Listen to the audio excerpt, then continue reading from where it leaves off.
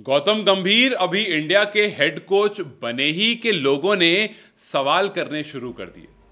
अभी अभी वो कोच बने ही के लोगों ने कह दिया कि यार ये तो हिपोक्रेट है। हिपोक्रेट की बात इसलिए निकली क्योंकि गौतम गंभीर की एक स्टेटमेंट थी जहाँ पर उन्होंने कहा था कि अब इंडिया आगे बढ़ रहा है और ये देखकर अच्छा लग रहा है कि इंडियन क्रिकेट टीम अपने ही प्लेयर्स पर इतना भरोसा कर रही है, अपने ही फॉर्मर प्लेयर्स पर इतना भरोसा कर रही है कि उन्हें कोच जैसी पोजीशन मिल रही है। जब रवि शास्त्री ने इंडिया की कोचिंग की, जब राहुल द्रविड़ ने इंडिया की कोचिंग की तो बहुत सारे लोगों ने ये बात कही कि जी, अब वो टाइम चला गया, जब हम साउथ अफ्रीकन कोचेस की तरफ़ देखते थे, जब हम न्यूजीलैंड या फिर जब हम ऑस्ट्रेलियन कोचेस की तरफ़ देखते थे, और ये मानते थे कि जी, वहाँ से अगर वो कोच आएँगे तो वो हमें अच्छी क्वालिटी देंगे।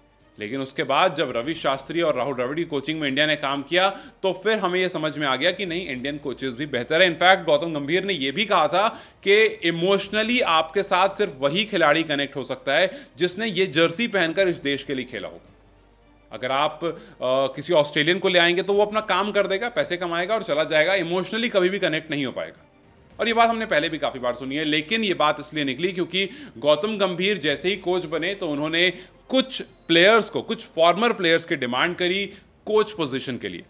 जैसे उन्होंने कहा कि असिस्टेंट कोच चाहिए मुझे अभिषेक नायर। अभिषेक नायर, हम सबको पता है के के में उनके साथ थे और ऑब्वियसली अभिषेक नायर इंडियन है सो यहाँ पर कोई बात नहीं आई। लेकिन उसके बाद दो नाम जब उन्होंने लिए, मौनी मॉकल और रैन टेंडुस्काटे का, तब वहाँ पर सवाल उठा कि यार, ना मौनी इंडियन है, ना ही रैन टेंडुस्काटे ये वही गौतम गंभीर हैं जिन्होंने कहा था कि कोचिंग में सिर्फ़ इंडियन होने चाहिए। कोचिंग स्टाफ जो हैं, वो इंडिया का रहे तो ज़्यादा बेहतर है। हालाँकि गौतम गंभीर ने हेड कोच की बात कही थी, लेकिन जो लोग गौतम गंभीर के इस फैसले के साथ हैं, उनका सिर्फ़ एक कहना है कि जी देखिए, गौतम जो है, वो क्वालिटी बिलीव करते हैं। गौतम ने मौनी मौकल के साथ काम किया है, गौतम ने रेन टेंडुस्काटे के साथ काम काम किया है, और गौतम को ये बात पता है कि वो किस तरह का काम करते हैं। अगर साथ की बात करें तो मौनी मॉकल जो हैं, वो फॉर्मर टीममेट हैं, कोलकाता नाइट राइडर्स के साथ गौतम गंभीर के साथ खेला है, लखनऊ सुपर जाइंट्स में। दोनों ने साथ में काम किया है सपोर्टिंग स्टाफ बन के तो गौतम को बहुत अच्छे से पता है कि मौनी मॉकल किस तरह के हैं, वो किस तरह की कोचिंग देते हैं और इसी वजह से गौतम गंभीर जो हैं, वो मौनी मॉकल को डिमांड कर रहे हैं। उसके साथ साथ अगर आप रेन टेंडुस्काटे की बात करेंगे तो रेन टेंडुस्काटे और अभिषेक नायर, ये दोनों ही के में थे इनके साथ और उन दोनों के बारे भी गंभीर काफ़ी अच्छे से जानते हैं। तो अब सारी बात यहाँ पर आ रही है कि Gautam Gambhir being a head coach वो टीम के साथ बहुत ज़्यादा कनेक्टेड रहेंगे। ऑब्वियस रीजन हम सबको पता है कि गौतम गंभीर इमोशनली और किस तरह से टीम के साथ हमेशा से कनेक्टेड रहे और उनकी कोचिंग हम सबने देखी है के में किस तरह से सपोर्टिंग रोल में या स्टाफ मेंबर में किस तरह से उनके आने से इम्पैक्ट हुआ था। और वही इम्पैक्ट टीम इंडिया को चाहिए।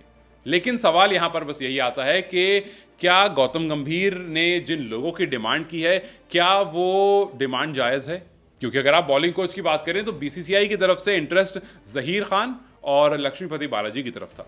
हमारे पास अच्छे बॉलर्स हैं जहीर खान इंडियन लेजेंड हैं, जिस तरह से उन्होंने 2000 के एरा में बॉलिंग की है और जिस तरह से 2011 का वो उनका बॉलिंग स्पेल था, हम सबको याद है कि जहीर खान कितना इंपॉर्टेंट रोल प्ले करते हैं जब हम इंडियन बॉलिंग यूनिट की बात करते हैं। तो मैंने सोचा क्यों ना आपसे पूछता चलूँ कि गौतम गंभीर के आने के बाद जिस चेंज का हम एक्सपेक्ट कर रहे थे, उसमें कुछ चेंजेस हमें दिखने लगे हैं। कुछ डिमांड्स गौतम की आनी शुरू हो गई हैं। कुछ लोग इसके साथ हैं कि जी नहीं, गौतम जो हैं, वो क्वालिटी है बिलीव करते हैं। गौतम को ये बात पता है कि अगर ये ये आएँगे तो फ़ायदा होगा, वरना वो अभिषेक नायर की जगह किसी फॉरेन प्लेयर को बुला सकते थे। उन्होंने अभिषेक नायर को इसलिए बुलाया क्योंकि अभिषेक के साथ उन्होंने काम किया है, उनको पता है वो किस तरह काम करते हैं। हाँ उन्होंने रैन टंडुश काटे और मौनी मॉकल को बुलाया सिर्फ़ इस वजह से क्योंकि उनको उनका काम पसंद है। And after all head coach तो इंडियन ही है। तो मैंने सोचा आपसे पूछता चलूँ कि जी जो पारस मामरे ने कहा था कि इंडिया के पास दो ऐसे बॉलर हैं जिनकी अच्छे से खातिरदारी होनी चाहिए, जिनका ध्यान हमें रखना पड़ेगा बिकॉज़ वो एक्सेप्शनल टैलेंट हैं जसप्रीत बुमराह और मोहम्मद शमी। ये दो नाम उन्होंने लिए थे। तो जाते जाते बस मेरा यही सवाल कि जिस तरह से पारस मामरे कनेक्टेड थे मोहम्मद शमी के साथ और जसप्रीत बुमराह के साथ, क्या उसी तरह से मौनी मोकल भी कनेक्ट हो पाएँगे या फिर क्योंकि मोनी मोकल साउथ अफ्रीका से आते हैं तो वो उसे सिर्फ़ इस जॉब की तरह इस काम को करेंगे और बीसीसीआई को उनको हायर नहीं करना चाहिए। क्या आप गौतम गंभीर के साथ हैं? क्या आप गौतम गंभीर की डिमांड्स के साथ हैं? क्या आपको लगता है कि गौतम गंभीर ने जो नाम लिए हैं, जो डिमांड्स की हैं, वो उनको मिल जानी चाहिए? क्योंकि गौतम जो हैं, वो क्वालिटी पर बिलीव करते हैं और उनको पता है कि वो क्या कर रहे हैं। आपको क्या लगता है, आप गौतम के इस स्टेटमेंट को, इस डिसीज़न को या इस डिमांड को किस तरह से देखते हैं? मुझे कमेंट सेक्शन में ज़रूर बताएँ। वीडियो अगर पसंद आई हो तो इसे लाइक और शेयर ज़रूर करें।